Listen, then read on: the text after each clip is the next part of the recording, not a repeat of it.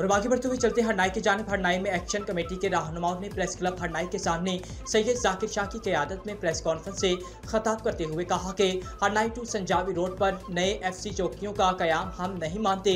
अमन ईमान के लिए लेवीज को तैनात किया जाए। अगर नई चौकियाँ बनाएँगे तो हम सख्त एहतजाज करेंगे।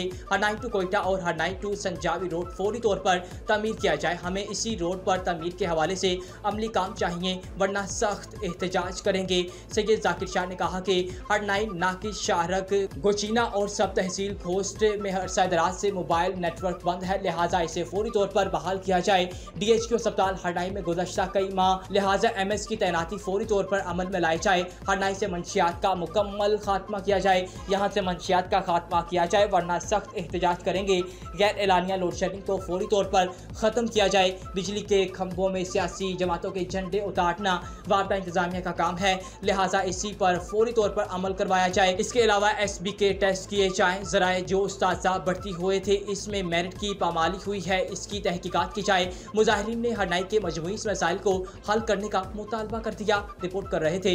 हरनाई से हमारे रिपोर्टर नजीबुल्ला शाह। तो ये कंपनी के जो मशीनरी थी, जो मजदूर थे, उनको जलाया गया, मारा गया, अगवा किया गया और हमारा पर जल्द अज जल्द काम शुरू किया जाए। बसूरत गोचिना नाकस नेटवर्क मुसलसल बंद है।